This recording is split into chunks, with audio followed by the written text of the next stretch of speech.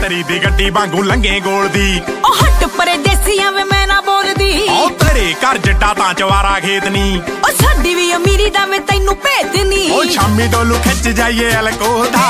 ਉਹ ਸ਼ਾਮੀ ਡੋਲੂ ਖਿੱਚ ਜਾਈਏ ਅਲਕੋਹ ਦਾ ਉਹ ਤਾਈਓ ਸੀਰੀ ਪਾਲੀ ਪੱਕੇ ਨਾਲ ਜੁੜ ਕੋਈ ਗਏ ਚੰਗਾ ਕੰਮ ਨਾ ਕਰੀ ਚੰਗਾ ਕੰਮ ਨਾ ਕਰੀ। ਉਹ ਜਿੰਨੀ ਥੋੜੀ ਸਾਲ ਚ ਕਣਕ ਲੱਗਦੀ ਉਹਨੇ ਦੇ ਤਾਂ ਲੱਗ ਜਾਂਦੇ ਗੱਟੇ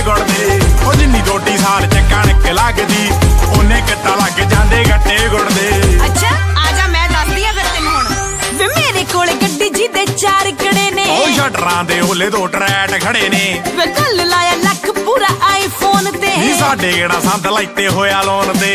ਵੇ ਹੋਰ ਕੋਈ ਪੱਟ ਲੈ ਜੇ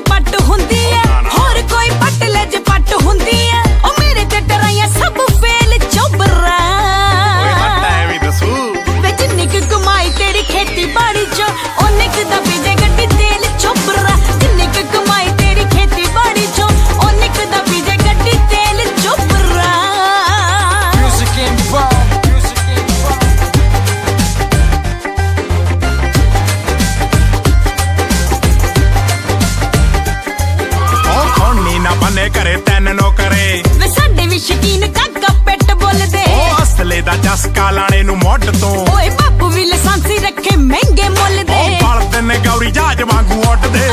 ਖਾਸ ਖਾਸ ਕੇ ਤੇ ਸ਼ਰੇਆਮ